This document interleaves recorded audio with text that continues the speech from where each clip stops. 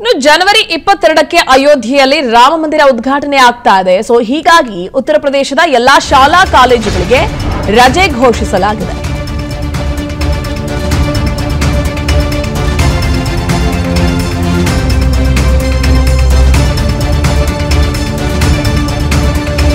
ಜನವರಿ ಇಪ್ಪತ್ತೆರಡಕ್ಕೆ ಉತ್ತರ ಪ್ರದೇಶದ ಶಾಲಾ ಕಾಲೇಜುಗಳಿಗೆ ರಜೆ ಘೋಷಿಸಲಾಗಿದೆ.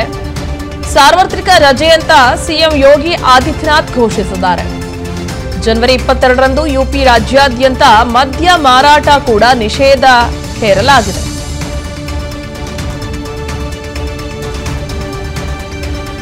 ಕಡೆ ಪ್ರತಿಯೊಬ್ಬ ಭಾರತೀಯನೂ ಕಾಯ್ತಾ ಇದ್ದಂತಹ ಅಯೋಧ್ಯೆಯ ರಾಮ ಮಂದಿರ ಉದ್ಘಾಟನೆಗೆ ದಿನಗಣನೆ ಶುರುವಾಗಿದೆ. ಸೊ, ಇಂತಹ ಹೊತ್ತಲ್ಲಿ ಯುಪಿ ಸರ್ಕಾರ, ಅದರಲ್ಲೂ ಸಿಎಂ ಯೋಗಿ ಆದಿತ್ಯನಾಥ್ ಶಾಲಾ ಕಾಲೇಜುಗಳಿಗೆ ರಜೆ ಕೊಟ್ಟಿದ್ದಾರೆ. ಸಾರ್ವತ್ರಿಕ ರಜೆ ಅಂತ ಘೋಷಿಸಿದ್ದಾರೆ ಇದನ್ನ.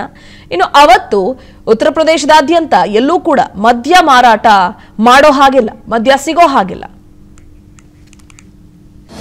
ಅನುಕ್ಷಣದ ಸುದ್ದಿಗಳಿಗಾಗಿ Vistara news YouTube channel subscribe ಮಾಡಿ. ಹೊಸ ಸುದ್ದಿಗಳ ನೋಟಿಫಿಕೇಶನ್ಗಾಗಿ ಬೆಲ್ ಐಕಾನ್ ಕ್ಲಿಕ್ ಮಾಡಿ. Latest ಅಪ್ಡೇಟ್ಸ್ಗಾಗಿ W W W dot Vistara news dot com ವೆಬ್ಸೈಟ್ಗೆ ವಿಸಿಟ್ ಮಾಡಿ.